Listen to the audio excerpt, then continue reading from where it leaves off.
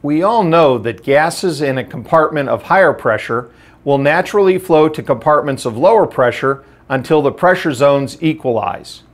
When wind is impacting a building, it is creating a higher pressure on the upwind side of the building and it is generating a lower pressure on the downwind side.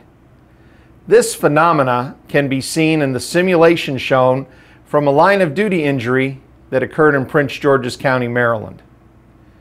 Wind speeds as low as 10 miles per hour can increase the heat release rate of the fire and generate gas flows that fill doorways, rooms, and corridors with a unidirectional flow of hot gases or flames that can extend from the ceiling all the way down to the floor.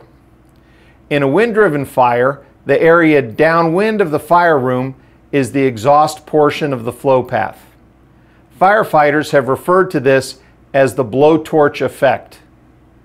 Working with FDNY, the Chicago Fire Department, and the Toledo Fire Department, we measured conditions on the downwind side of a wind impacted fire in excess of 1,000 degrees Fahrenheit with heat flux values in excess of 70 kilowatts per meter squared.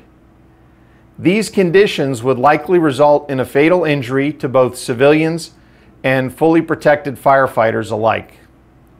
The message is simple. Consider the wind as part of your size up and keep the wind at your back.